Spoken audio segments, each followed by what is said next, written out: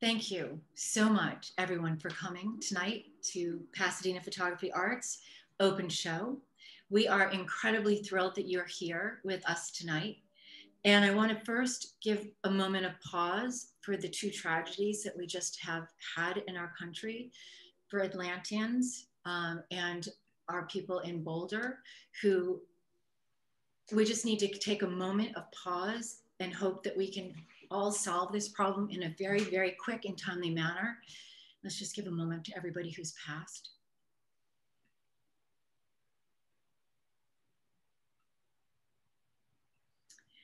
And that brings us to our show. And we're so grateful that everybody can be here tonight. Um, I'm talking to a screen and I need to see who's here. Um, anyway, so our mission is to bring a greater awareness to photography for the, to bring community, to bring you photography. Oh, I'm so sorry. I just got nervous. So We're all good. Uh, Pasadena, thank you. Pasadena Photography Arts. Here we are all together tonight, and I want to bring together these five amazing artists. We have Gershon, Gershon from RIT, who's bringing amazing work that will inspire, Granville. sorry, Granville, who will inspire us to be better people. All of the, our artists tonight will do this. Anyways, tonight we are grateful that you are here and we need your help to keep these programs don't alive and well. I just got so incredibly nervous. That is friends. okay. Basically, we're keeping PPA free, and through your donations, um, we are able to also have this amazing opportunity for an artwork raffle. Uh, and so tonight, one of these unique prints from our featured artist could be, be yours. yours. Um, the link will be shared in the chat momentarily. And they will share their work after every presentation and they'll hold it up. And I'm honestly, it's amazing work. So we are here because of you, and they're here because because we, are all, all here. here. together to share this work. So you can find more about us on Pasadena Photography Arts through Facebook and Photo Arts and our website. And just a little business. We want to make sure that everybody's muted during the show. The most important thing that we can do is to chat, is in the chat, put your questions. We really want to do questions and answers in real time. So we'll be looking and bringing them forward. The, it is recorded, so please be mindful of what you're wearing. If you're not, if you decide to leave, remember to wear your clothes. and we will go on to the show. And here's Debbie. Thank you guys for that introduction. Uh, and our advisors that are here tonight, thank you so much for, for this space that we've created for artists to show their work, to share their work. Uh, we couldn't be here without all of you on both sides. Uh, tonight is the second part of our Inspire and Elevate show that we have put on for you for Open Show. And the reason that I chose this topic is because we've had such a difficult year that we know, and here we've had another glimpse of, of things that have been happening in another way. It's been a catastrophic year that's been filled with fear and illness, division, discourse, but it's also invited inclusivity and diversity and a union in many ways. The artists that uh, that we selected for part one and part two all are contributing from their hearts, their minds, their spirits, and, and their, their generous talent. And, and I thank them all again for, for being here. We need your submissions in order to be able to do this. And so we thank you all and thank you all for attending as well. Uh, our first artist is Granville Carroll. And uh, I'm introducing Granville first. We're so happy to have you here. Uh, what, what we started doing, you know, everything is evolving with uh, Zoom and the pandemic and how we run things.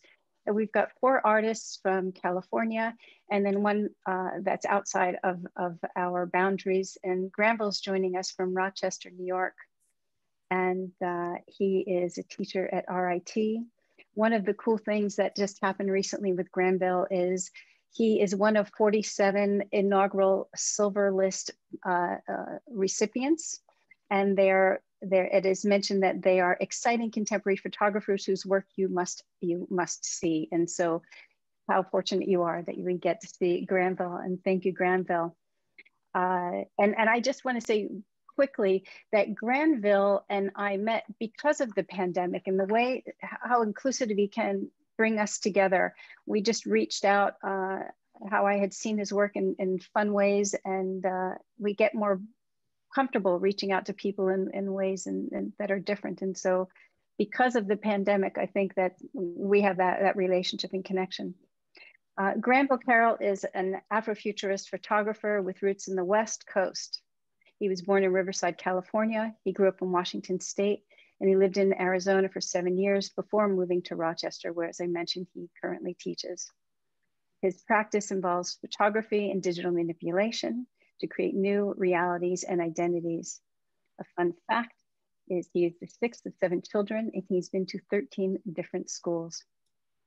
Uh, Granville is going to recite an original poem uh, over this first pass of his work. Unlike the other participants, when we first show their work, you'll be viewing it in uh, silence. So Granville, please welcome, we welcome you.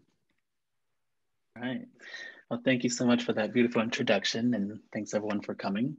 Um, so as Debbie mentioned, I will be reciting a poem that I wrote last year, uh, which I just titled Blackness Together. All right, so here we go. Blackness is born, blackness dies. Blackness reforms, blackness rise.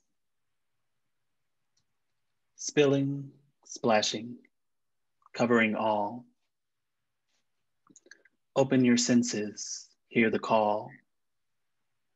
Blackness together, black evolves. Absence of light, colors combined. We are everything entwined. Black is, black isn't. Flowing, curving, bending its form. Morphing, colliding, conjuring the storm breaking, building, changing, movement, time, only space remaining, blackness.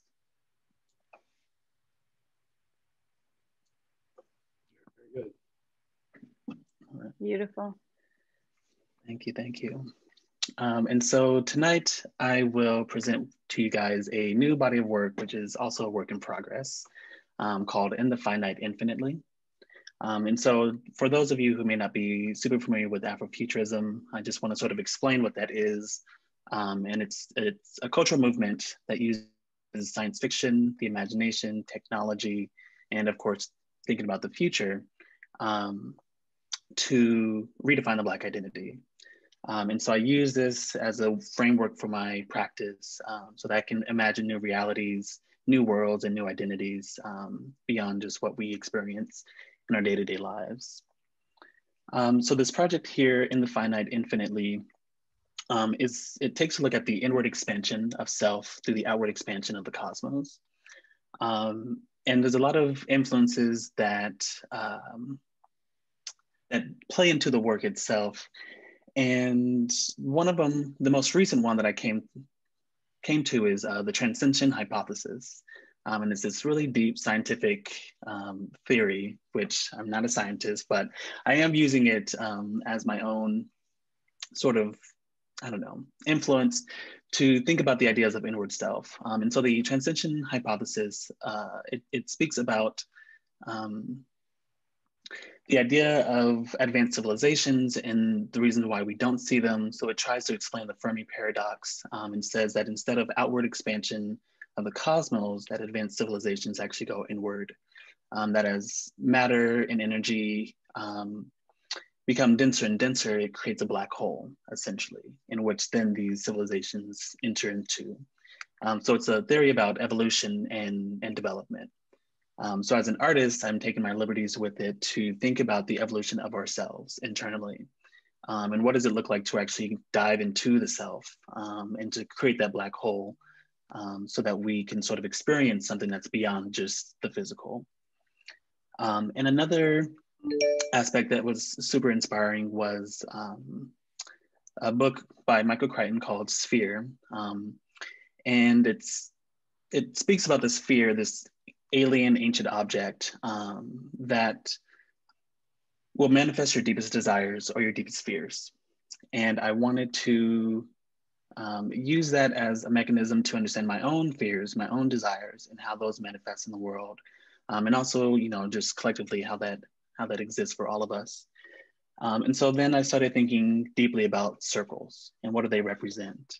Um, and circles representing the spirit and the cosmos, um, the beginning and an end. Um, and the circles is what unifies spirit and matter as well.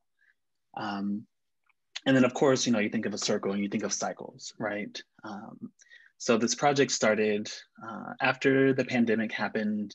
I didn't really want to make work that was directly related to COVID, um, but of course we don't work in a vacuum and there were, you know, things that happened uh, in the world that influenced my thinking. Um, so I started thinking a lot about uh, death, of course, um, thinking about life, um, the gratitude for it, um, and then also just, you know, what is that next stage? Um, you know, after this body is gone, you know, where does our energy go? Um, and so it's in it's a investigation of existence and non-existence, um, and the body acting as a conduit for these forces that exist in the cosmos. Um, and the search to sort of understand the origins um, of ourselves and then where we will go next. Um, so, like I said, it is a work in progress. So things are changing, things are morphing. I'm being influenced by a number of different things um, you know, and then I guess one other aspect is um, reading the uh, what is it? The Hitchhiker's Guide to the Galaxy. Um, you know, and it's like, what is the the ultimate answer to life? Um, and I'm sorry if spoiler alert for anyone, but they say that the answer is 42, and they're sort of thinking like, well, what does that mean? Um, you know, and it's like sometimes we're not actually asking the right question. Um, so I think it's important to sort of think about that in you know the larger spectrum of life itself, um, and what is the actual question that we should be asking. Um, and maybe it's it's not an answer that we need, but you know the right frame of mind to think about um, you know possibilities. Um, so yeah, so that's a little a little bit about the work. Uh, so if you guys have questions, uh, comments, I will open that up to you guys. Thank you so much, Granville. And excuse, we're having some screen issues. So we apologize for that so very much. And sometimes technology just takes over and we, uh, I hope you understand. Um, Granville, how, how yes. do you make, like this particular photograph that we're looking right at at the moment, how, how are you constructing this? Mm. Yeah, so the process is it's not really complicated, but it does take a long time. Um, so usually what I do is I begin with a landscape image or what I like to call it my blank canvas. Um, so when I'm thinking about photography um, my practice as a photo manipulator, um, you know, I, I, see myself as a co-creator of reality. You know, I'm using the indexical aspects of photography, you know, photographing something that is real and that exists in the physical form, but then imagining something new with it. Um, so I start with a blank canvas, which is a photograph, usually a landscape. Um, and then I start to build into that space. Um, so it, with this one in particular, uh, this is just grass that I had photographed. Um, and one day I had lit an incense and um, I was looking at the smoke and how the light was catching, catching on it. And I just thought to myself, wow, that's really, really quite beautiful.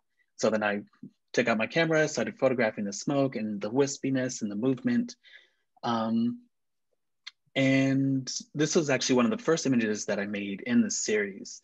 Um, so then I took this mandala circle that I created um, and the smoke as sort of this, um, you know, as a way to sort of conceal certain aspects of the image, but then also have this idea of revealing.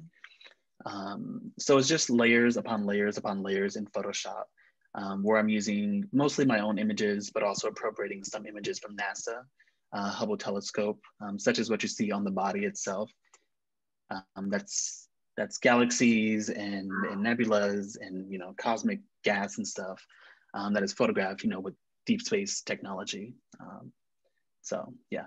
And are you using, using your self portrait? So you, you're doing your own you're using you a lot um, always or do you have other people step in at times um, so everything that i've done so far has just been myself Um, I, you know, I was, yeah. So self portraiture for me is it's obviously you know in some way about my identity, right? Um, but more so, it's just using my body as, like I said, as a vessel or a conduit. Um, so the hope is that even though it's a representation of me physically, that others may be able to see themselves reflected in these spaces as well. Um, so I, I, do have an idea for a project where I want to maybe involve other people. Uh, but there's some some things that I want to sort of work out before I, I release that to the world.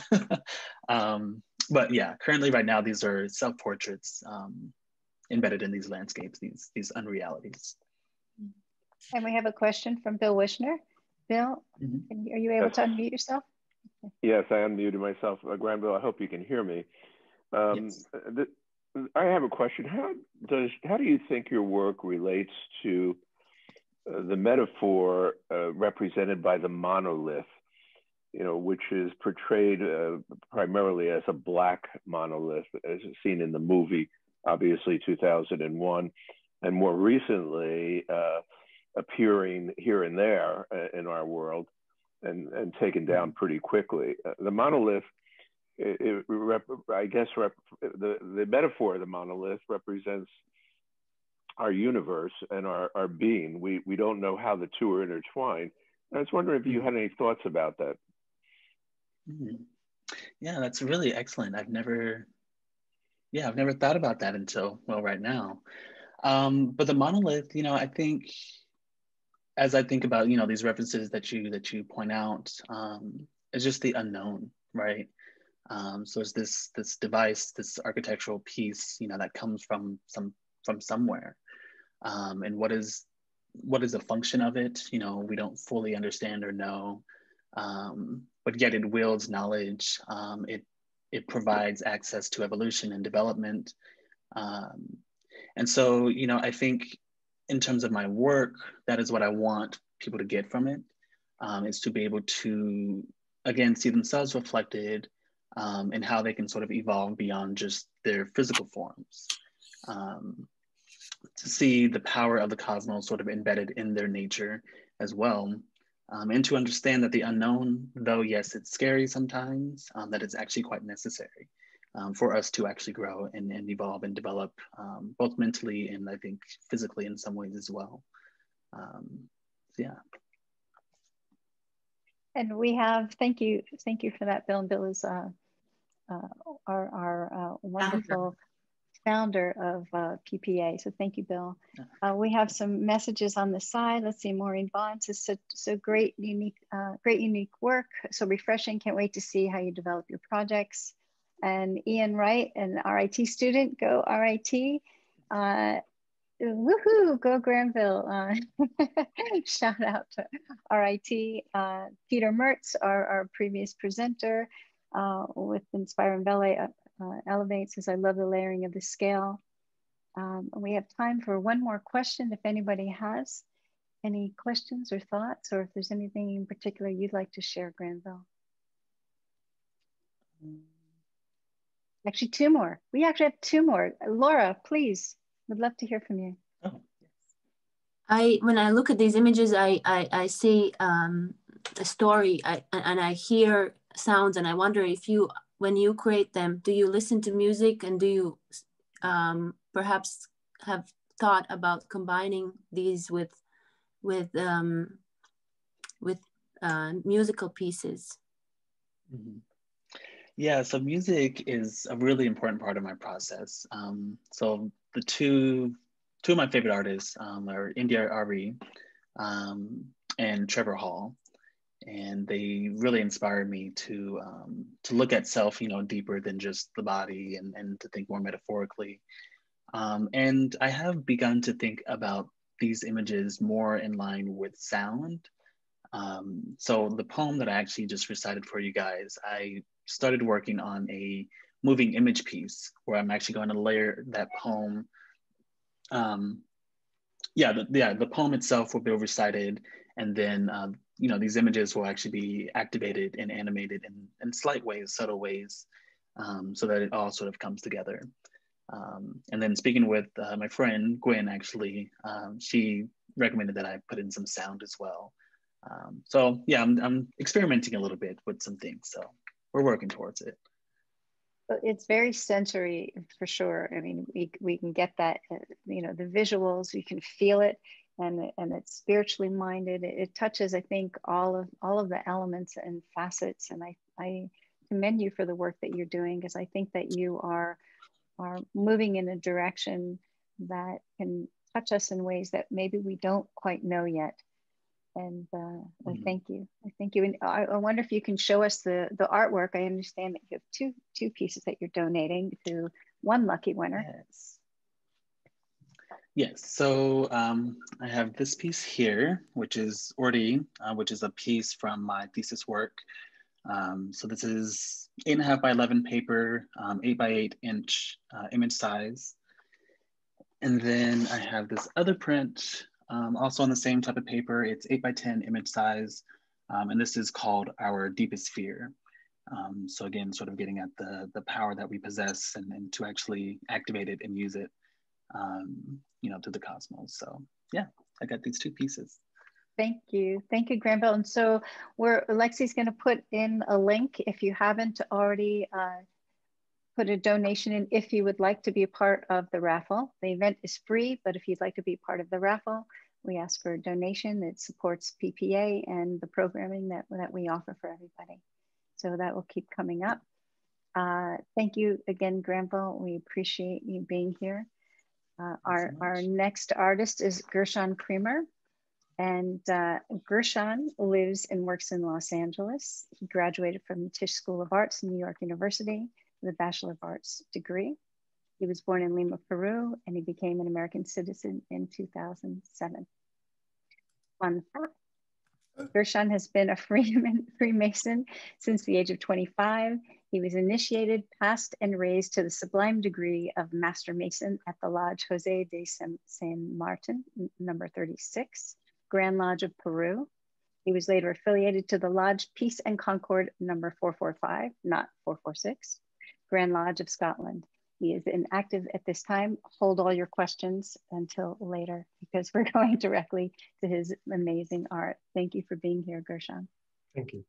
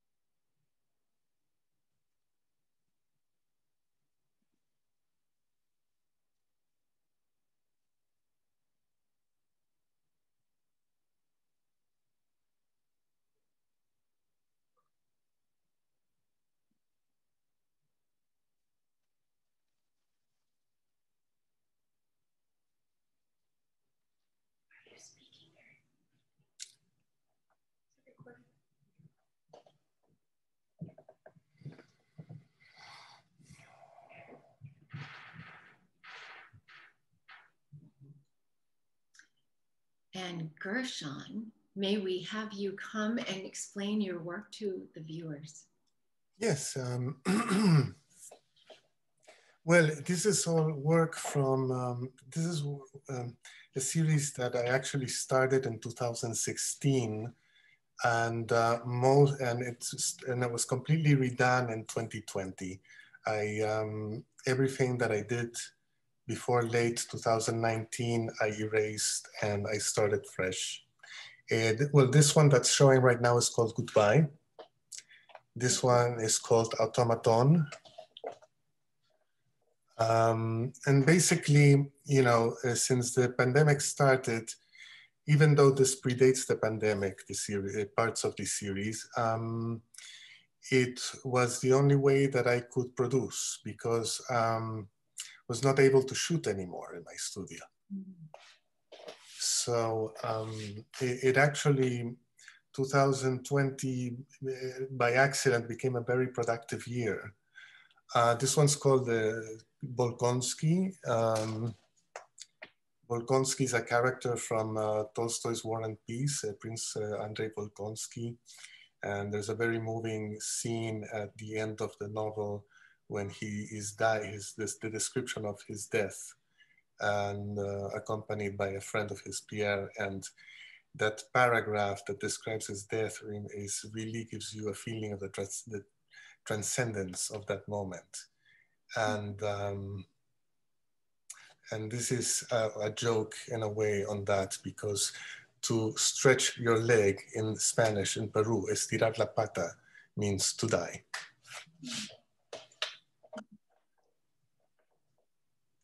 Uh, this is a composition in orange and red. Um, eh, this is a, a piece done later in 2020 uh, and I was, I was experimenting more with transparencies and using them to emphasize. And um, I mean, this, this, this process for me has been very interesting because my work has mostly been about the body.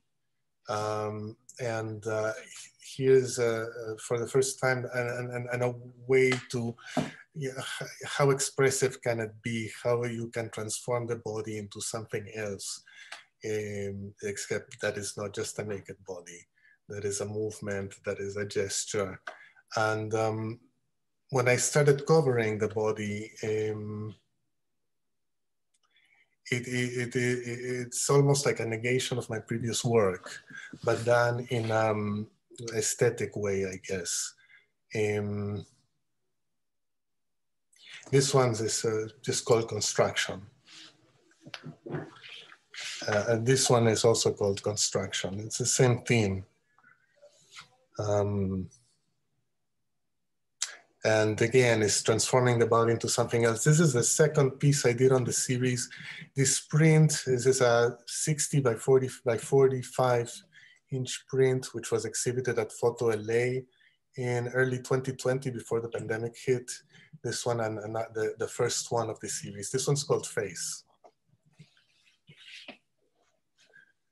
Right, this one is untitled.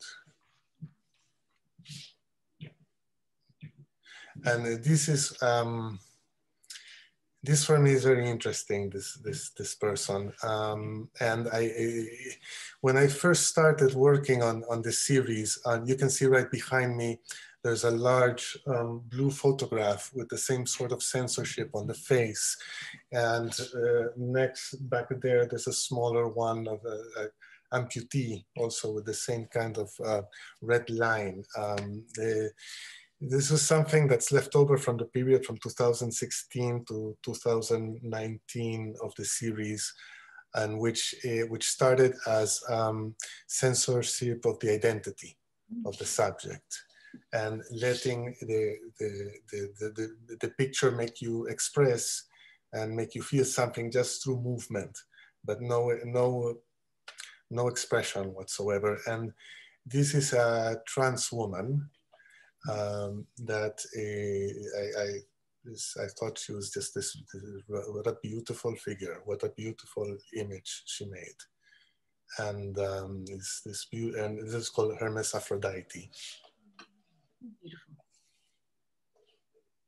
This one's called Play. What's it called? Play. To play.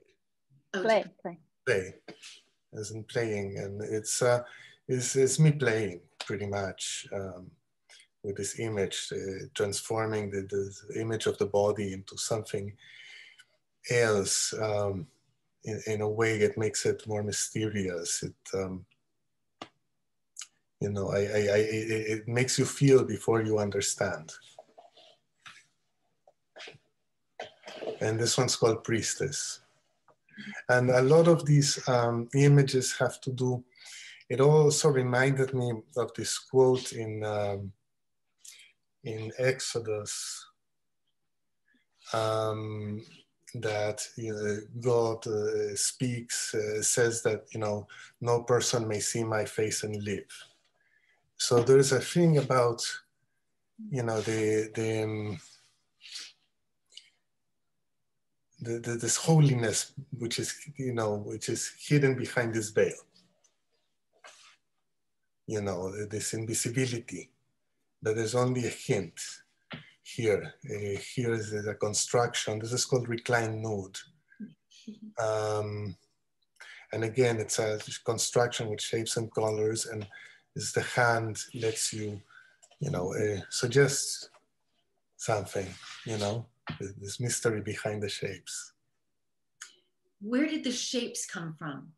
The shapes, I, I'm a very lazy artist. I'm super, super lazy. So I, I like to do things the easiest way possible. Um, the shapes, I made them with, um, yeah, with uh, what is this called? This program is a very simple program. It is called Window, uh, uh, it's a Mac and it's called Preview. So these shapes come from Preview. And what I do is I take the, the photograph and a, a TIFF uh, digital TIFF on, oh, this one's called Seated Nude.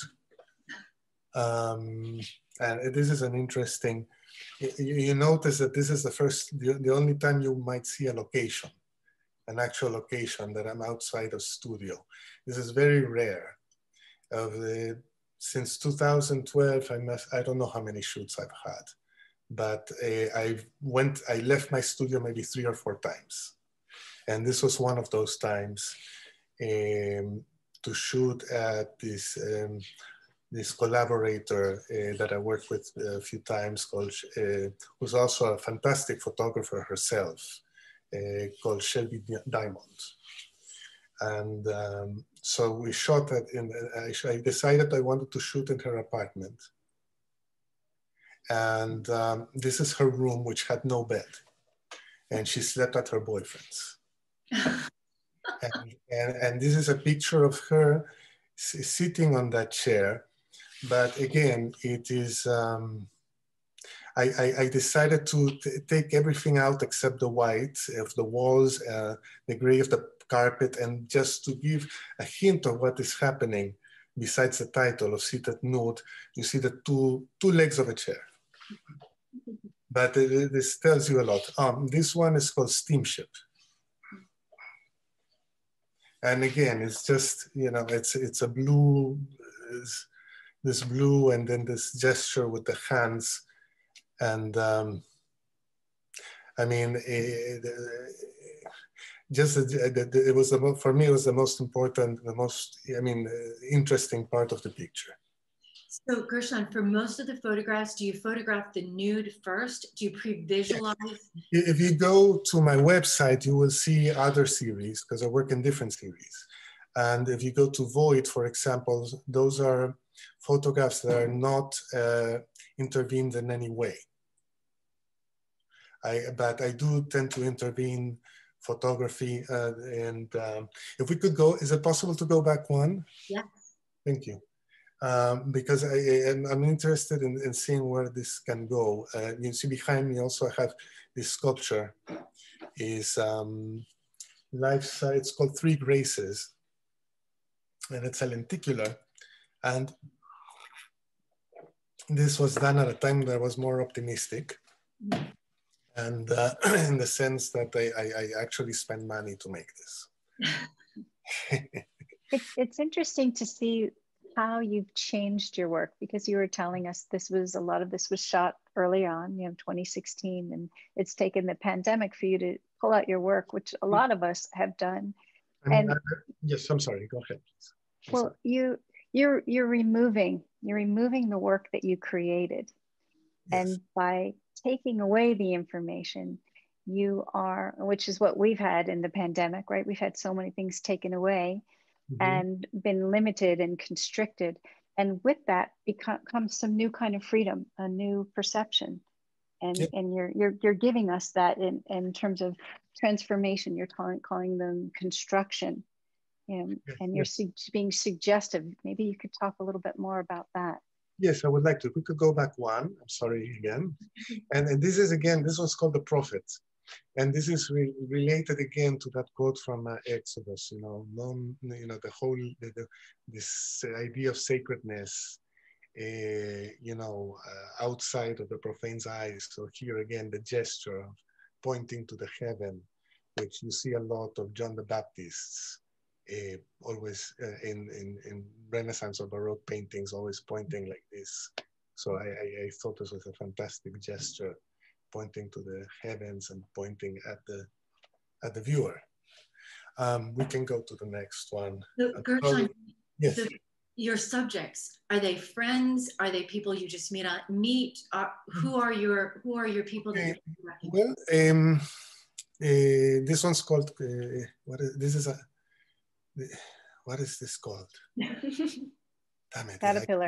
the title of that one Oh, wow. But it was related, the title. It was untitled, and then the title came to me the other day, and I named it, and I forgot it now. But anyway, it's on the website. Uh, I'm sorry, what was the question again? It was about your models. How do you how do you find oh, people that you want to shoot? Okay, well, um, uh, Instagram has been very, very helpful.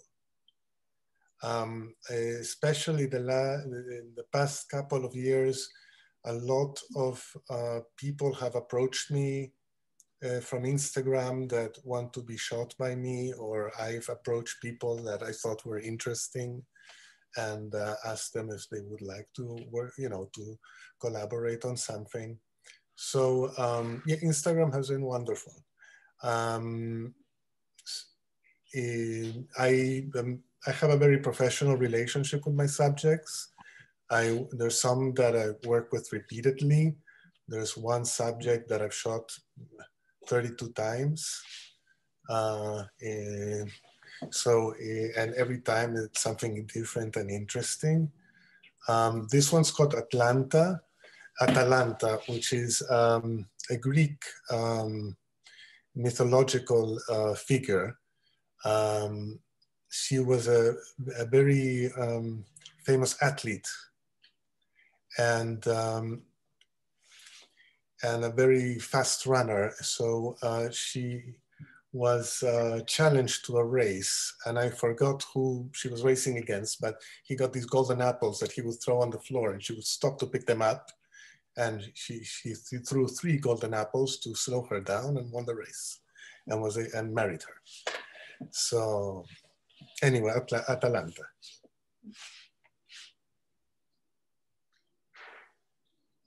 where, where do you want this work to go? Is this something that you continue to work on or do you feel it's finished? Well, um, I don't know. I haven't done, I haven't produced anything in about five months. Hmm. Um, I haven't been able to for some reason. I just kind of stopped. I think that the series at this moment is a little bit exhausted in the sense that uh, I don't, I, I, I, I can't find anything new to do with it uh, or anything that could be surprising, just a repetition of the, the same the, the idea. So um, I, I, haven't found what to do next yet, but I, would like to do something that is um, surprising. I think it will be. Thank you so much for for your work. Uh, if you could show us your, you've got a painting that you're going to be donating. Oh, yes, of course. Uh, another result of the pandemic is that I started to paint, and uh, this is my first oil painting. It's called the Boxer. Um, it's 18 by 24, 24 by 18, I believe. Yes, and um, yeah, I mean, I, I I, I started, there was a moment that I had a space above me that I could use. And um, I, me and my wife used it as a painting studio. Uh, unfortunately, uh, it's gone. But uh, we were, uh, you know, since I couldn't shoot, I, I, I, tried you know, my, my hand at it, and uh, it was fun for a while. But I have to maybe restart that. Who knows? Thank you. Well, that's what happens when one area in our lives close down, another area opens up for different productivity. So we thank you. Yeah, and and Bill, we'll get to your question uh, toward the end. We're gonna we're gonna move on. Thank you so much, um, Gershon. Uh, our next presenter is David Freeman. David Freeman's mission is to create a greater awareness through photography of how we as a country are dehumanizing those living in abject poverty and in homelessness. David is a Long Beach based artist whose work explores the human condition, how they live, how their identity, goals, and advocates uh, for the humanity of all people. I think I messed that up. Sorry, guys. Um, David, now 79, has presented in numerous exhibitions in LA, Long Beach, and Orange County, as well as publications, TV shows, documentaries, podcasts, and charitable events. We're going to show you a short film of David's work, and then uh, he's going to recite some work, uh, some, some script that he's written for his, his beautiful work. Please enjoy.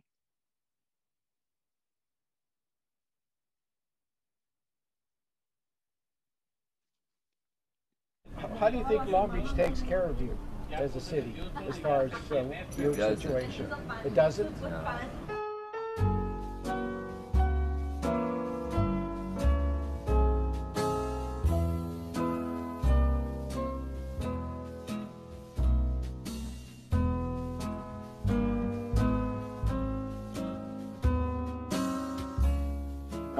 Come back here in a year and see it kind of gone downhill. I want you to go up there. They're not supposed to take our stuff and throw it in the dumpster. They're supposed to take our stuff and put it in storage or a form of storage facility. They don't. They throw it all away. And you can't get a job because if you leave your stuff, they come by and take it from you. So how are you gonna get a job if you ain't got no clothes and underwear? Once you're homeless, I mean, you're out there and it's hard to get back, you know what I mean? Um, and a lot of people, you become the enemy of everybody.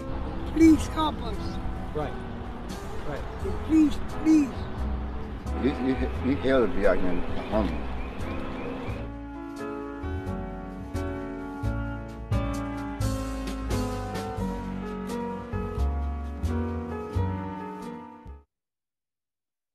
Thank you, David.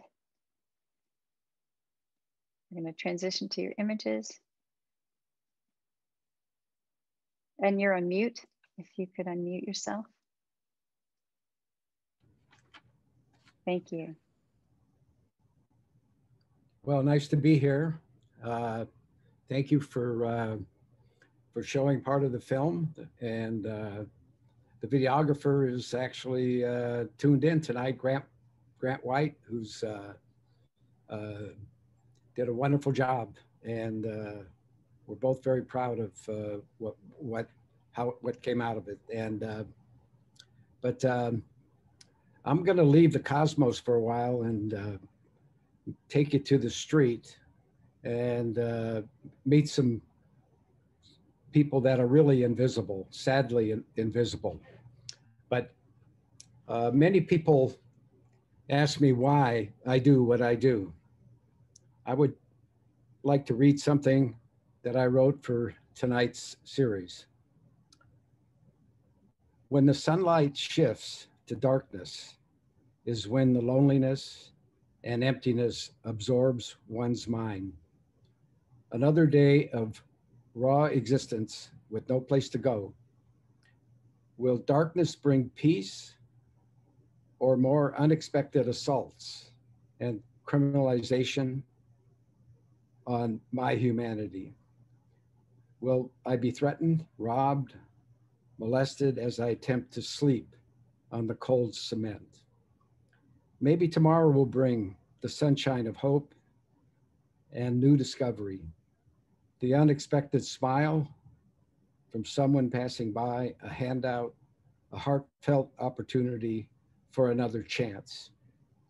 But most people just walk by like I am invisible. I am better than this, and my country must do much better.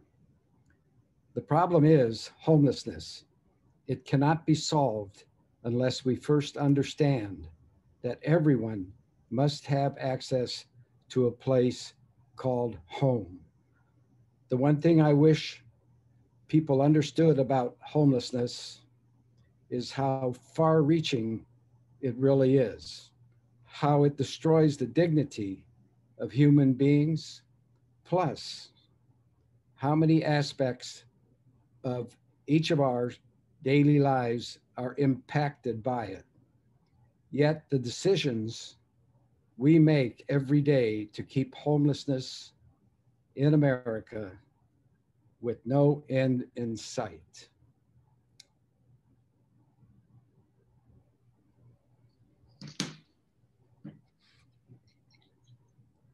Uh, this is Michael. Uh, uh, it's hard to imagine that you could walk up and ask this nice man, actually, if I could take your photo or whatever. But uh, um, the first time I visited with Michael, he was asleep under a bus stop with his pants halfway down. Uh, defecation was surrounding him, and uh, he wore no underwear. His looks are intimidating, strong features, and a totally penetrating look. Uh, he believes that he is unqualified for help. They keep turning me away. Once, once I gave him some money for a burrito. I then asked him if he would take 10 steps next to a wall so I could take a different type of picture. And he said, I can't move. My feet will not take me there. I looked down at his feet. They were all sores. Uh, they're open. it was unbelievable. So, so I went across the street and got him a burrito. And uh, uh, it's a, a perfect example of what happens to a person that sleeps on the street for for too many years of its, his, their lives, and he's still there, and uh, eating burritos. Okay. Did someone has a question and wanting to know did you compensate participants that you worked with for the project? That's from uh, Rowan Light Willis. Um, I do everything that I can. Um, you know, uh, basically, uh, pre pre pandemic, um, you know, I always worked alone, and I and and you you need to break the ice in some fashion, and I think that my age works for me, being 79, and uh, talking to people that also look 79 but are 50. Uh, so it makes for for nice dialogue people can relate to. But uh, uh, since the pandemic, I really can't do this. I have gone out, but when I wear a mask, I have. Uh, it's very hard to engage these people to the point where you can, you know, sort of try to capture them and ca- and catch something that shows their inside. And uh, Michael, I've photographed about six times, and I still see him in Long Beach. And all the people tonight I'm going to show are all from Long Beach. This and uh, Susan Caffrey says, David, this work is breathtaking on every level. Mm-hmm. And uh, Amanda says she had the chance to meet you while she was painting a mural, that you're an awesome photographer and a caring human. Oh, and, uh, oh Amanda from Maui. Okay. Wonderful. Yeah. So, did uh, any uh, people or anybody wearing masks during this time? Yeah, I saw one in the yeah, image, actually, but what was that like? Actually, uh, actually, uh, they they probably wore more masks than uh, in my neighborhood in Long Beach, uh, but um, uh, uh, but I I just like to mention Chris if I can. Uh, that, that he's on the screen there. He's six foot five, and uh, he would usually see me coming, and he would start trembling with joy. he was totally beside himself and he would blurt out, David, hug me, hold me, breaking into uncontrollable tears. And he had a nickname on the street as Crying Chris, and he slept on a blanket on concrete, no shopping cart, just basics. He was always alone. I've helped him many times. And he finally got into, uh, during COVID, the first few weeks of COVID, he got into Roomkey. And in less than two weeks, they found him dead in his room. So great, great guy. I, I, I can't tell you how close I was to, to Chris, but, uh, um, you know, I'll see him again down the road. Chris Hamilton, rest in peace. David, do you get to know their stories? Do you, you do you learn like where they've come from and how they ended up here? Uh, well, I actually, uh, uh, when I first started doing this a little over four years ago, I, I, I kept a recorder and I recorded their stories. Mm-hmm. And, um, and, and, and basically, I think to really do a good job of uh, recording the stories, uh, you know, it takes more than one person. Mm-hmm. And, uh, but yeah, I do know, I do ask the, those kind of questions. Uh, with Chris, Chris, he was he was so hopeless that uh, it was not much to, to really talk about. And um, um, we have another question from the audience. It's from mm-hmm. Peter Hertz. Um, he says, David, your stories of these people are compelling. Do you use do you include these stories when you show the photos? When you've shown them in person in a gallery or any type of wall space, do you have their stories alongside?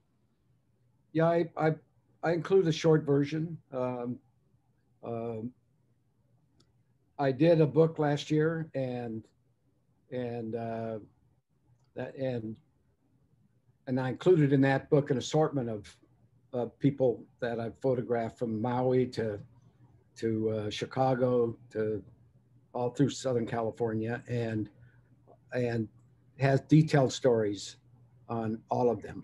Some of some of them it's just uh, kind of hit and run. Okay, like this guy here, Carl, who just pulled into town and was sitting outside of a liquor store and and uh, at you know 9:30 in the morning, and uh, he he he he wasn't a happy guy. So. Um,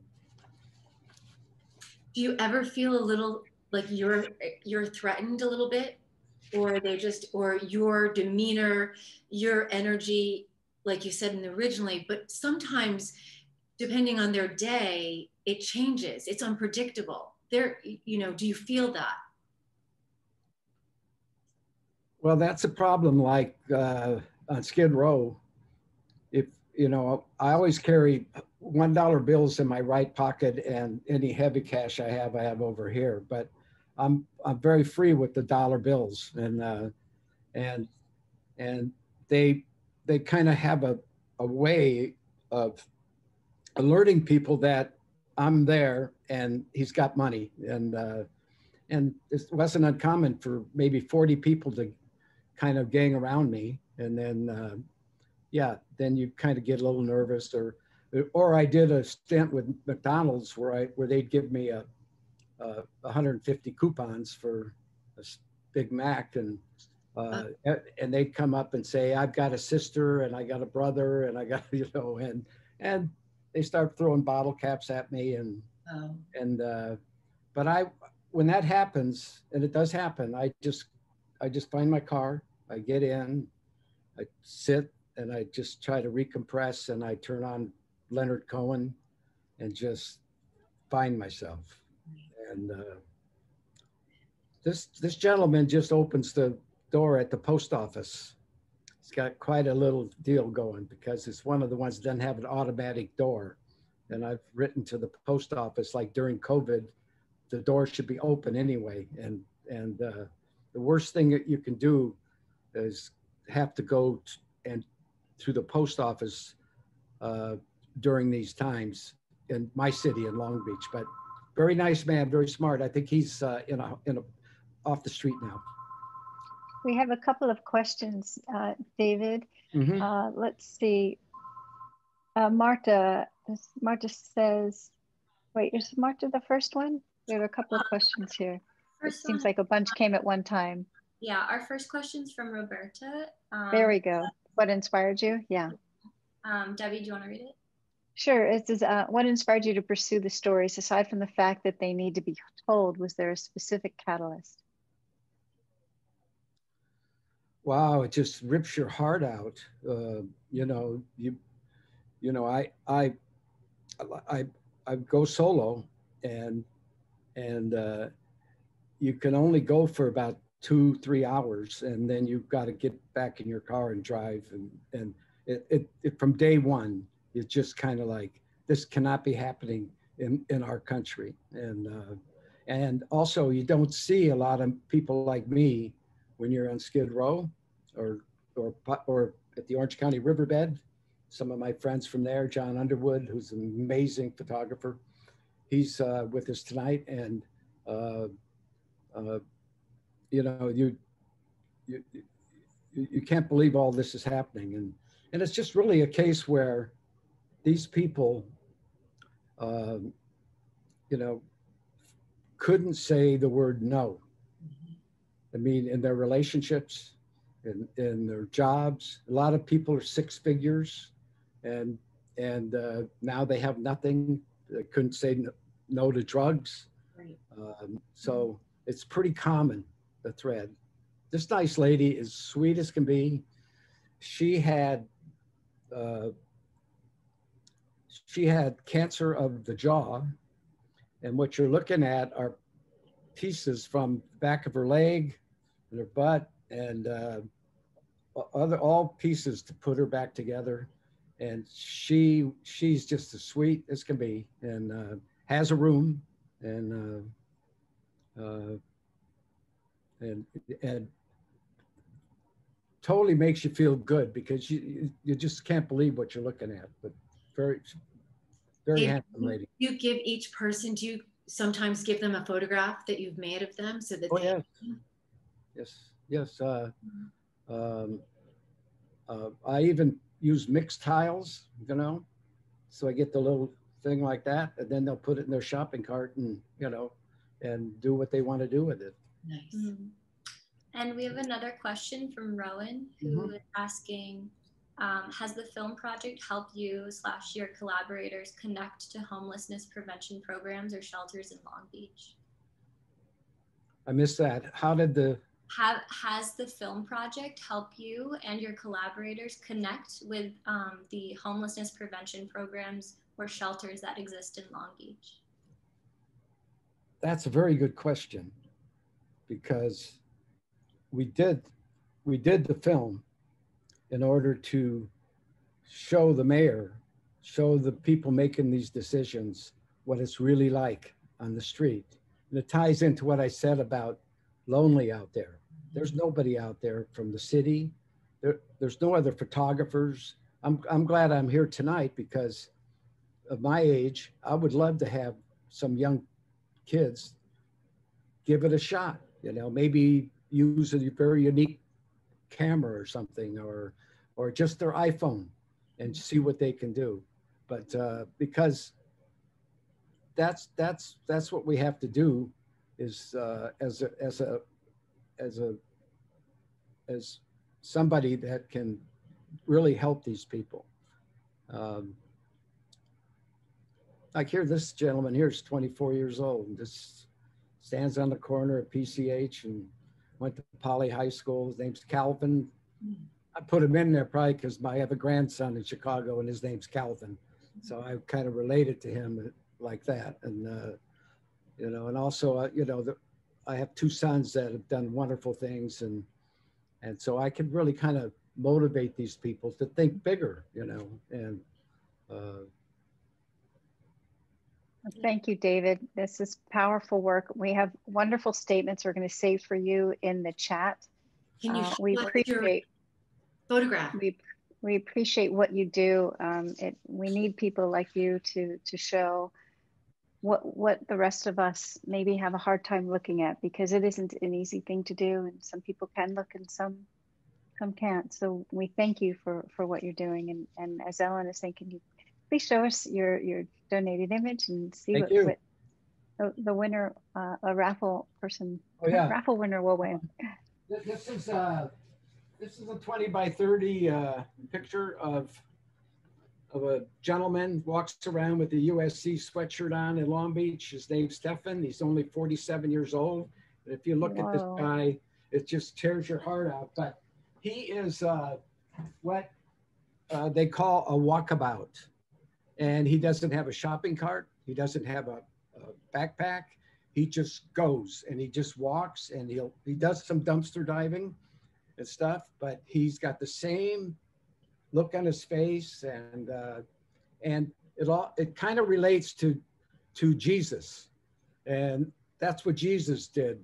They tell me, okay, they he walked around and he didn't have anything, and he just you know so they believe that they're entitled to their one square foot, and and sometimes I get closer and if I if I stand uh, I had one guy once take a piece of cardboard like this, set it down there, and he said, "This is my space."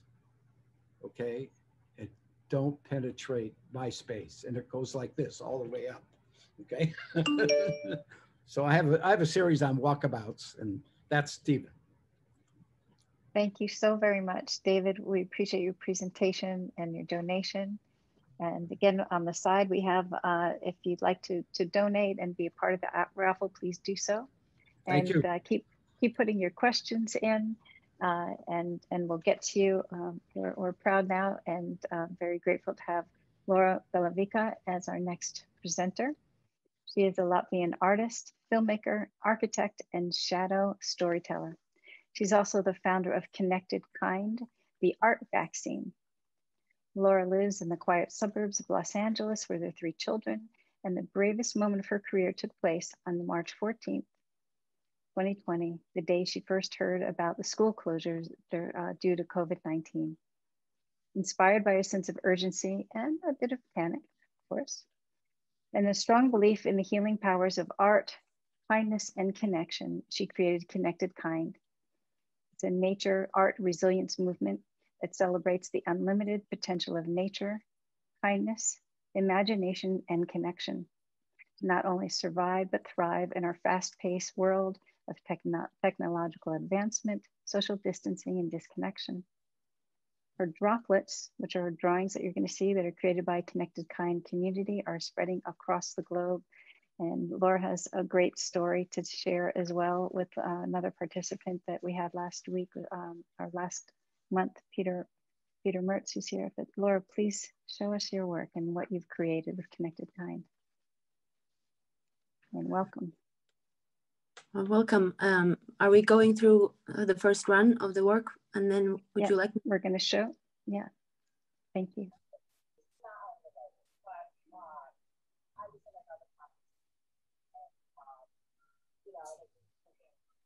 And if everyone can mute themselves if they're not presenting.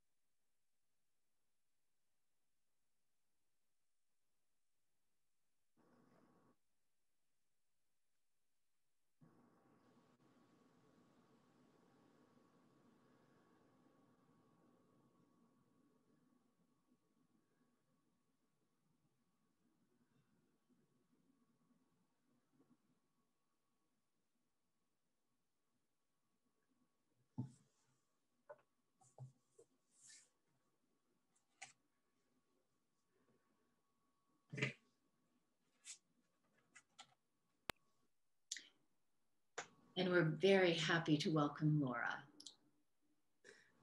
Thank you very much for this wonderful and kind introduction. And um, my work really asks um, the question of how often do we really see the little things and appreciate the beauty in the mundane? and um, that's just right at your feet. And as I go through some of my work, I would like to take this opportunity and tell you my story about how these tiny little objects opened up a whole new world to me and continue to carry me through this um, challenging time because I think and I hope that it might inspire you to see um, your world with new eyes as well. Uh, I'm a world builder. Uh, I'm an architect trained in the United States. Um, um, I also became an illustrator. I've illustrated children's books uh, and I'm making a documentary as well. Uh, and since 2016, I've been photographing found natural objects in their context uh, with natural light. And then I cut them out um, along with their shadows and simply play and imagine and respond. And the shadow is really the key that unlocks the interpretation of it. And I'm very um, fortunate to be living in California where the magic hour really yields these incredible shadows. And I'm also interested in the symbolism of the shadow and what um, it really hides within and how it allows us to, if we embrace it, allows for new interpretations. So what I call myself is a shadow storyteller because I listen to these objects. I, I call them my cast and crew and they tell me their stories. And the possibilities are endless. It's not that I look for a certain interpretation. Um, I never know what it will yield or what they will tell me only after cutting them out, only after looking at them, I really um, find something. Um, but just to go back um, to how this all started, um, after graduation, um, uh, after I graduated architecture school, uh, I ended up in China um, designing buildings and working on in a very intense uh, creative field where it was like a playground. Um, we were able to come up with crazy ideas and and execute them, see them built, and um, that's also where my two children were born. So I joke, I say that my children were made in China.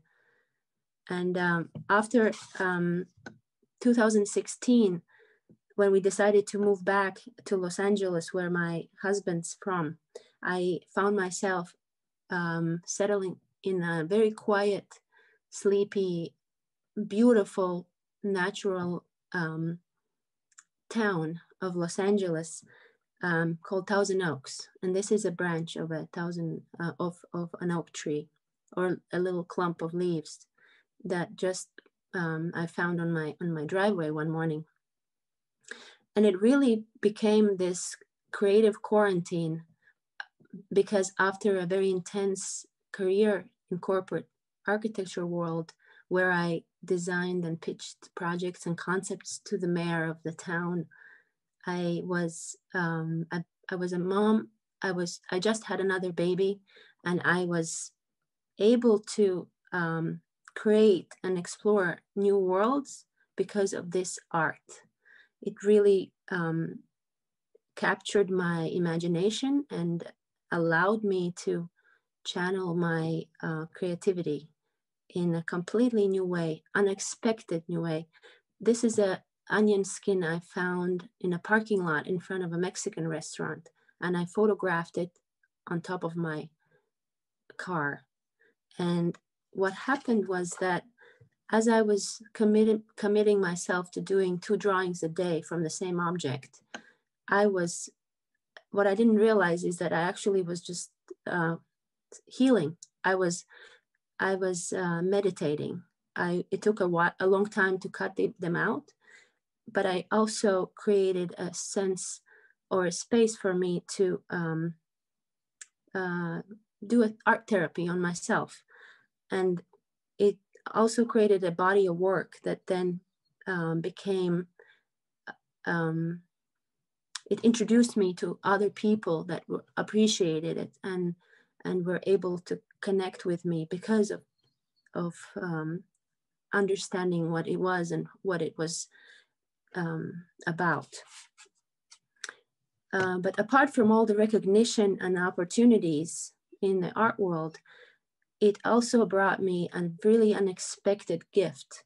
And this is where the, the story twists. Seeing their mother draw around natural objects every day, my children became very curious about the process and they would continuously bring me new, new objects. And then they would ask me to try and do the same kind of drawing.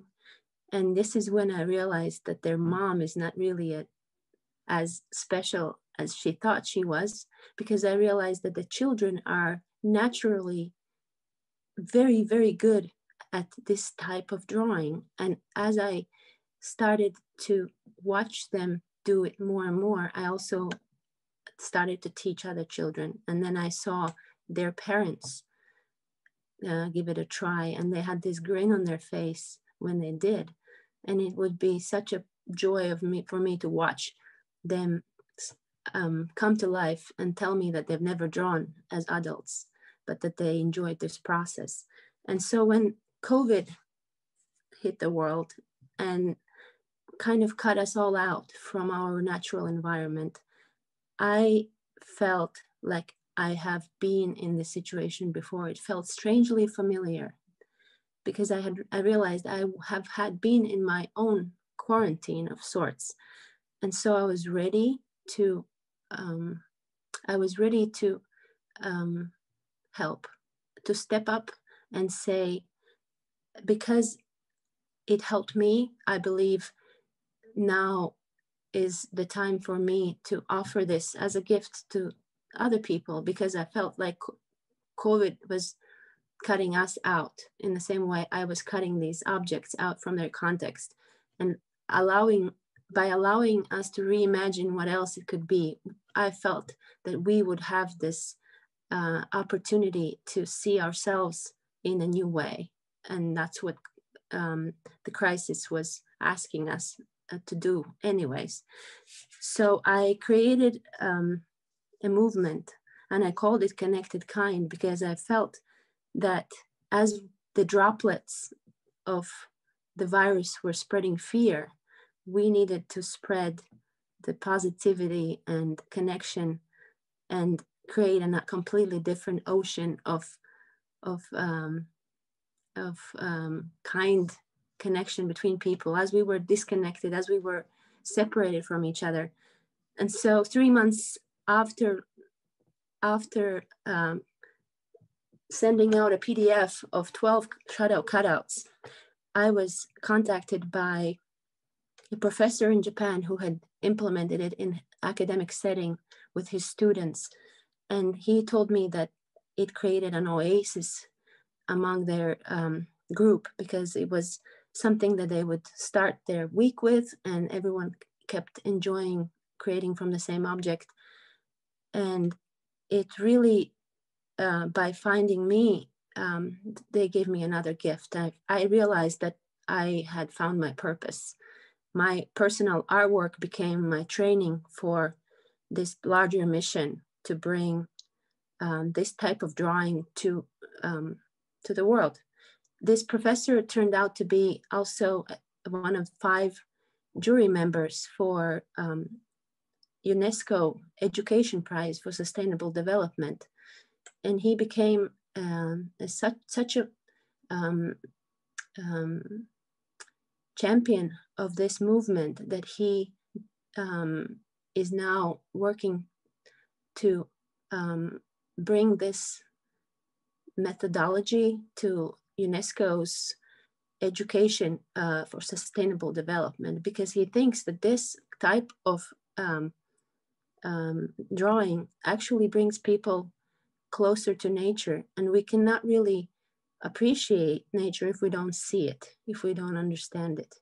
And for me, what really is the most powerful thing is that is this idea that art can connect people and that we all are artists and it's the artist that ultimately right now in this crazy world can somehow think outside the box and find and question um, what is worth fighting for and standing up for that.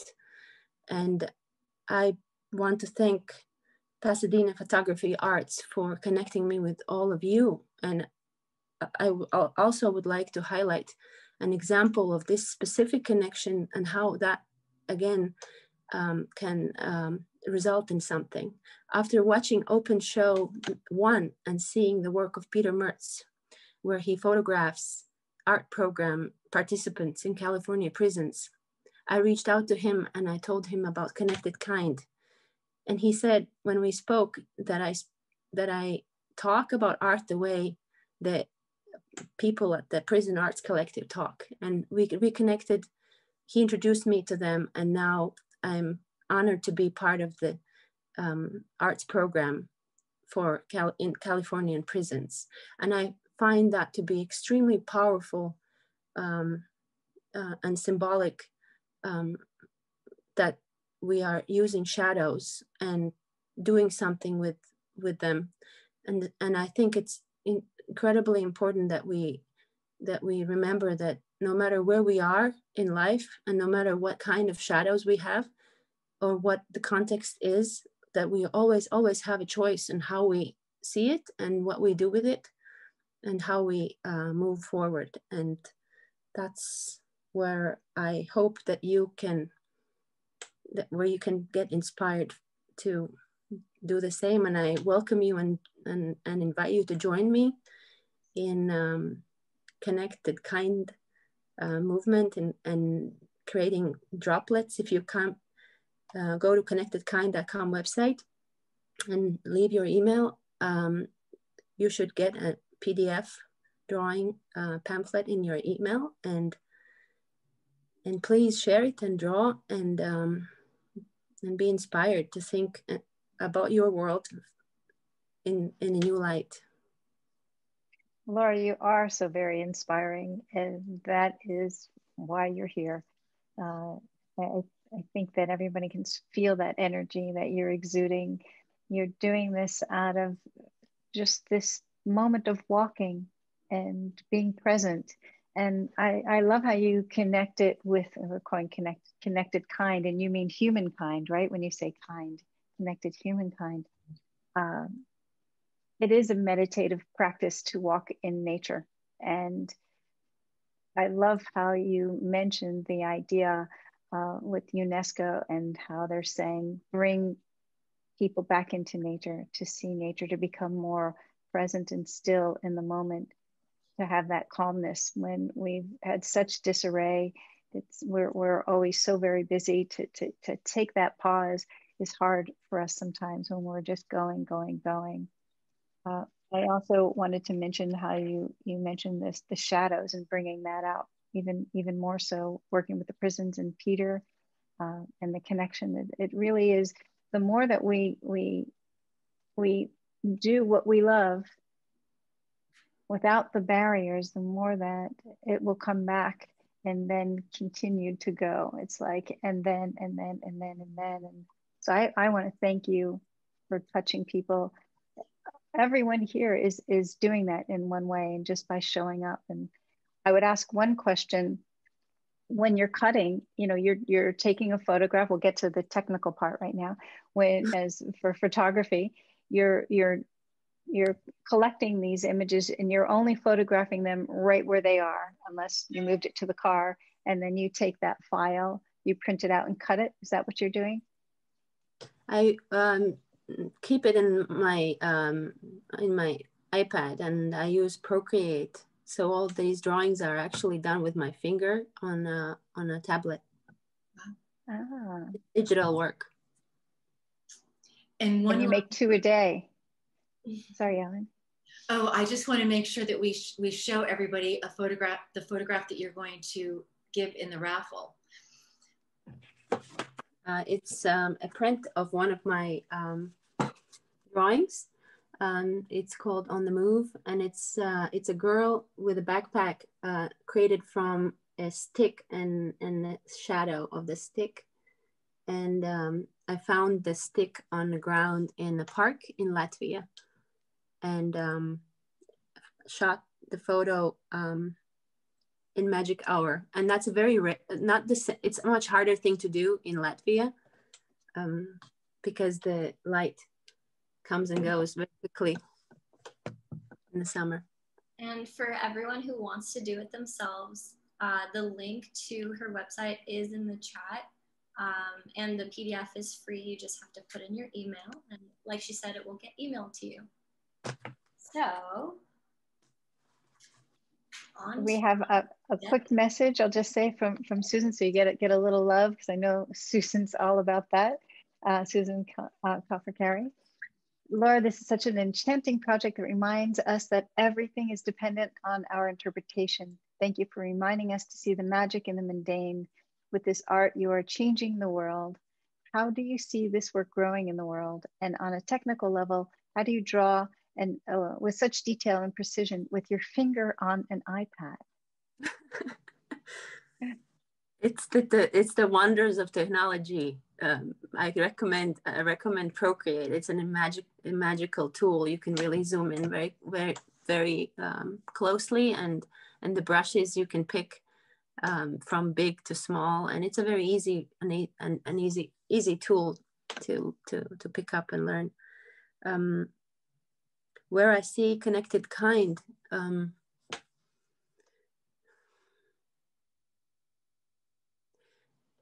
because of what I saw, how it affected my children.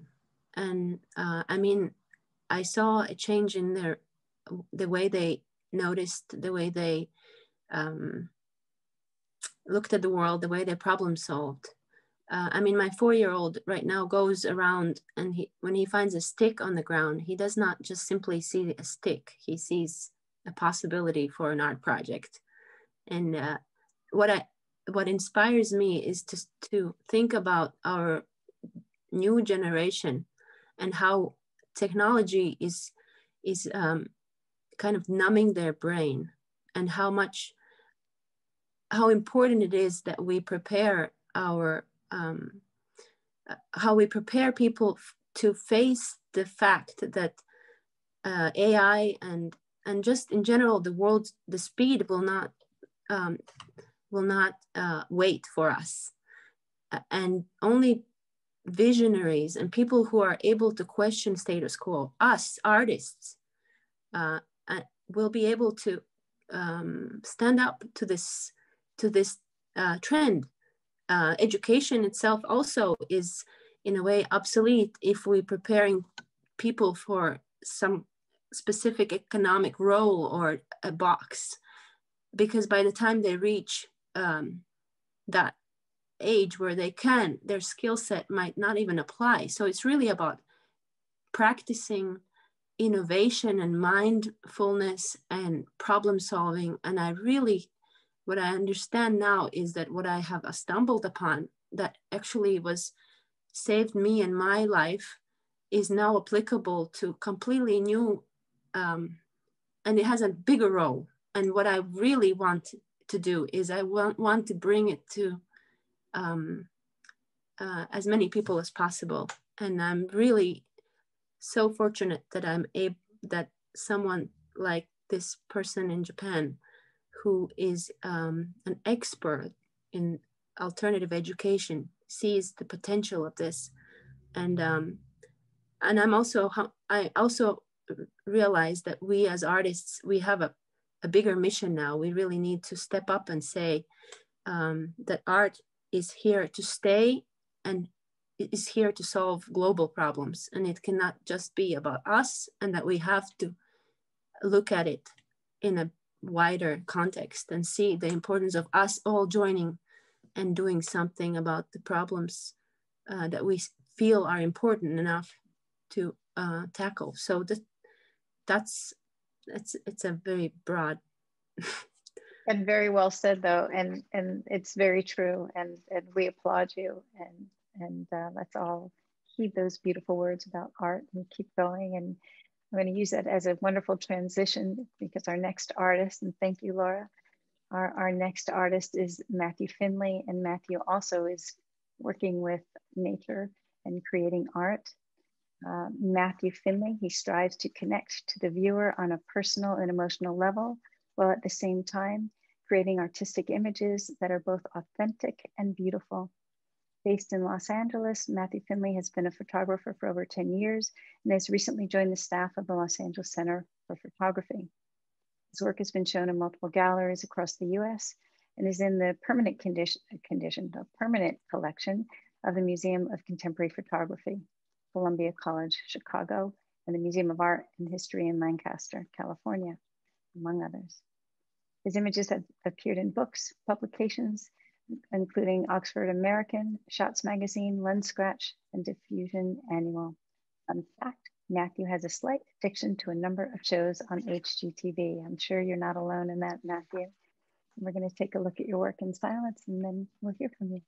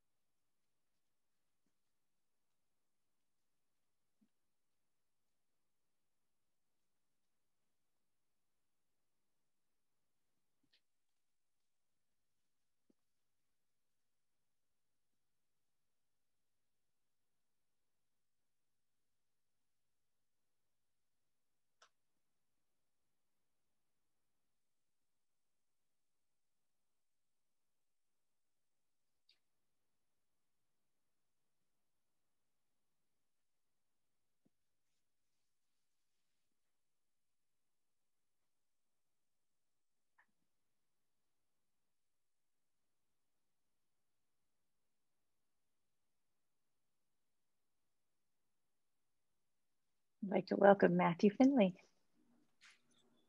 Thank you so much. Uh, I want to take a quick moment and thank everyone at the Pasadena Photography Arts and um, for putting on this event and, and making it so so easy and so fun. And I want to thank everyone who came tonight as well for taking the time. I know we're bombarded with Zooms at this point, so I know it, it takes effort to, to do one that you don't have to do, and I really appreciate it. Um, and I love having watched everyone tonight. I love how some of the themes uh, are repeating and and um, similar to uh, Laura that was just speaking. Um, my work is about nature, and and it comes. Uh, this work in particular comes from when being at stuck at home during lockdown and being in our little apartment here in LA for the first um, five or so months. And you know not having really any outside area other than the crowded park you know a few blocks away to go to um, i was really starting to feel uh, really kind of depressed and and um, really feeling heavy and worn down after all of the uncertainty that we've been put through it by that point and um, out of the blue, uh, relatives that have a place in Colorado invited us to go. So I was uh, very excited about that. I threw together some photography stuff in hopes that I might be able to think of something to do. And when we got there and we went on, started going on, you know, weekly hikes and everything, I was just, I was so um, I was, it was such a release. It was such a, a, a refreshing um, feeling just to be out in nature and, and, and like a feeling that I almost feel like I've forgotten um, with all that was going on. And it, it, it was such a positive um, soul, you know, not to get too woo woo about it, but like soul cleansing thing just to, to be able to, to focus on the life and the vitality around me instead of the news. And um, I felt so refreshed and so joyful about being there at that moment. And, and you know, the, the, the antidote to what was going on for me that I wanted to create some work about it. And I had uh, taken some uh, little gels for, for like lighting and I, I had taken them up thinking maybe I would do some, try some night photography, you know, putting that in front of a flash or something.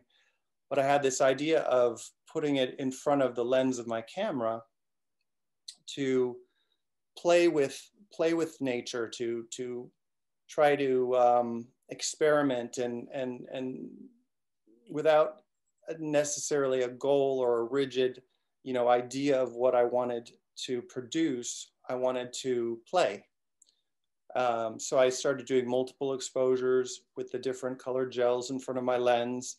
And it was, you know, lots of trial and error before I kind of developed a little bit of a understanding of how the layers, you know, laid together, how the color would affect, how the whites would be dominant. Um, but the rest of the time that we were able to be up there, every hike that we would go on, I would take my camera and my gels and just play and try to capture those moments that I was, you know, those moments of joy and and and um, just connection to something outside myself uh, in these images, and I I share those with you in hopes that you know they can take you outside of your head a little bit and and take you to a, remind you of a, of a positiveness, or at the very least, encourage you to find some nature to go get lost in. I had started shooting the clouds and uh, eventually worked my way down to the trees. Um, Matthew, this is a particularly beautiful photograph. Um, what's what's making that like I, I feel like I'm in the stars, the heavens. What's happening here? Uh, we went on a little bit of a, a, drive, and this is kind of on some cliffs looking down into a river. Uh, it's pretty far below us, and it was a super windy day. So all of those, it's it's the wind hitting the water, and it's a multiple exposure of not only the river, but some of the like looking down the river, looking you know to the left of the river, down the river, to the right of the river, so they're overlapping a bit. It's it's beautiful. Did you feel this this catharsis that was happening as you were making the photographs, or did that take a while to set in? Um, I would say I felt it. I felt it before I started taking the photographs. I felt it almost as soon as we we got out in nature. I just felt, you know, my shoulders drop a bit. And I found myself not thinking about the situation that we were in, you know, the worldwide pandemic that we were in the middle of and the uncertainty that that brought. I was able to, you know, just focus on the, the path in front of me through the forest. And um, it was, it was that being able to focus and that feeling of connection that I wanted to try to capture in some way, in some positive way, because I, I just, so much of the thoughts, you know, that had been going around in my head were negative and worrisome. And I wanted to try to create something that was uh, positive and energetic and fun. Um, and it, even, even if it's mysterious, you know, that's okay too, because not all mystery is bad. So that, that was my goal. And all of this work is done in camera. Yes, yes, it is. I, I just to, to, kind of show you a little example. I would take uh, little pieces I, of um, lighting gels. Uh, I had taken some up and then I ordered some more while I was up there, but and just tape them together. And I would just hold them in front of my lens as I would shoot and move, you know, take one of the four, shots. Most of the shots are between three and five. And I just move the lens or, or I'm sorry, move the gels or change the gels, you know, for a different color in between. So yeah, the, the only posts on these is just some um, contrast or, uh, you know, adding a little blacks or things like that just to make the image pop a little bit more. Um, but all of it was done, yeah, in camera. So I think that answers uh, Greg's question. And Granville says, these colors are beautiful. Makes me feel like you're capturing the aura of the landscape. Beautiful work. Uh, Camille Dudley asks what type of camera you were just holding it up. Uh, Nikon. It's a is it a Nikon D810? I'm sorry. Yeah, 810. And what's interesting, and I didn't mention it um, when Laura was speaking, but it you know in Japan they have something called sunbathing. I believe it's called sunbathing, and where that is you're actually going out into nature, and or forest bathing. Maybe it's forest bathing. That's what it is. Thank you. And that's what you know they do. They take a break, go out and bring in nature, bring in the sun, bring in the earth. And you did this intuitively. And, uh, and now you get to share this beauty with us. Yeah, it was really, it was, a, I, I really look at it as a gift because I really didn't quite realize I needed it. You know, like I, like I, once I was there, I, I did. Um, you know, and, and I've, we've been lucky enough to go there before, but I've never, you know, I've never felt kind of the connection to it that I did this time. And I, you know, I think that's in response to, to what was going on mentally and emotionally with where we were. And um, yeah, I really didn't want to leave. I was like, no, I have to go back to LA. But. Well, you can do that in LA in a different way. I know you probably don't want to do the project in LA, but what it, I believe it, it has afforded you is a, a, different practice to recognize what nature can do for you. Yeah, no, I, I definitely came, came away with it, you know, with a, a newfound understanding of, you know, just how much it affects me, you know, personally and how much, how much I get out of it and how much more value I'm going to put on you know making an effort to get into nature for for time you know as often as i can. It's interesting because you know psychologically we don't like being told what to do. If somebody could say hey you know go take a walk and you're like all right all right. But you're choosing to do so. And uh, when we discover things on their own they become far more powerful as well. And but then you can still share it with people and, and show it by, by doing it this way. And i think uh, all of all of you, the artists that are presenting today, and and I think all of us here in one way or another are able to teach just by being who we are, and when we come from that authentic place uh, and from our hearts, without blurting out something, it's really just by our actions I remember my grandmother used to do that. And so it's just something I want to pass on to all of you and, and to thank you all for being here tonight. There's one more really wonderful question for Matthew. John Underwood has said, Your work is reminiscent to me of the Reverend, Reverend Disney artist, revered, sorry, revered Disney artist Eyvind Earle, The way the colors pop and the landscape surreal. Are you influenced by his work? Um, I would like to say I am, and I'm going to look him up now. Uh, so, so, thank you for that.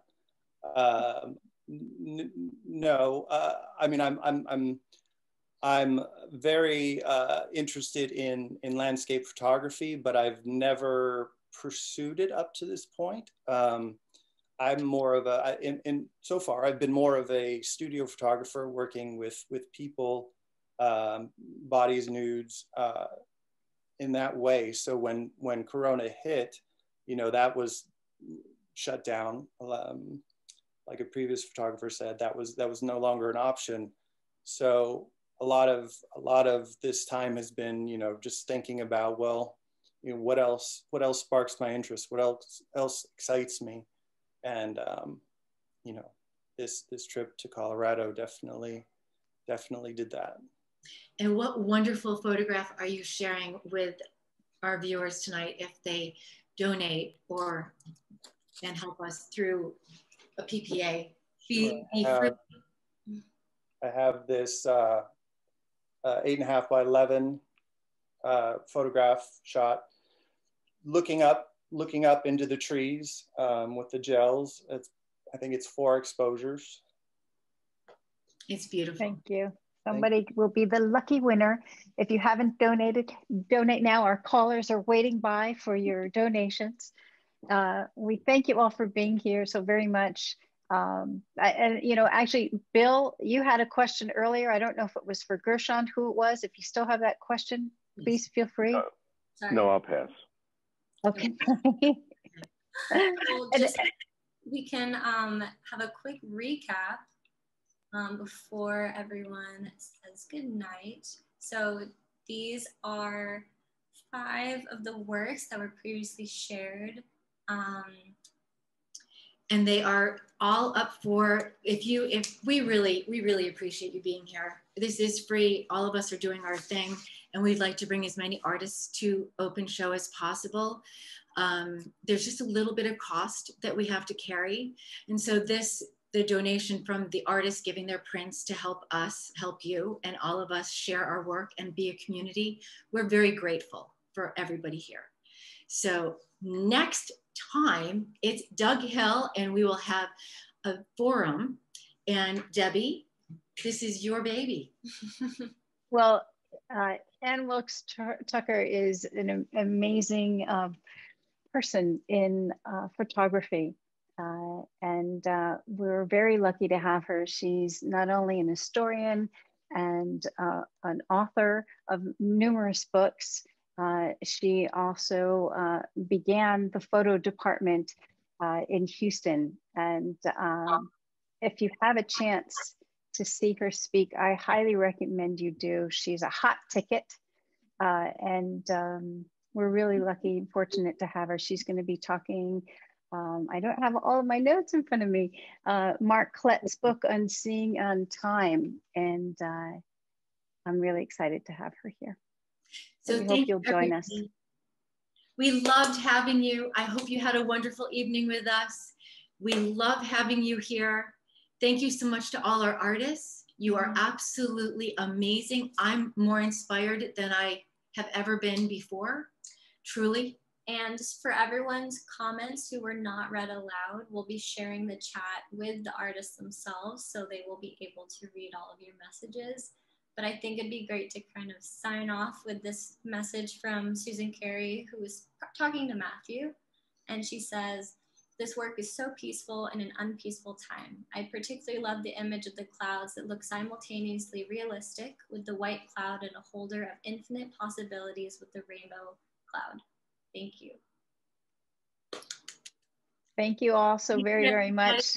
We'll see you next time. And in two months, we'll do open show again. So keep, you know, if you haven't signed up, sign up so you can get information from us and know when you can submit yourselves. And maybe you will be here and we We'd will love be to have you. showing your work next time. We would love to do that. Bye, everybody. Thanks again. Good night, everybody. Thank you. We appreciate you.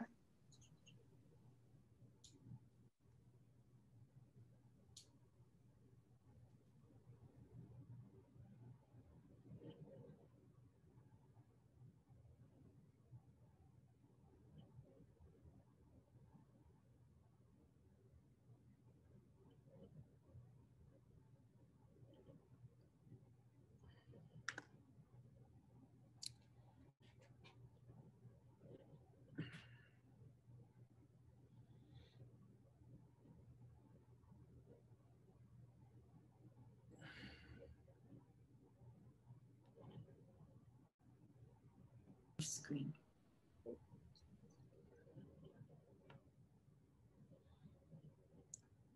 I think A fell asleep.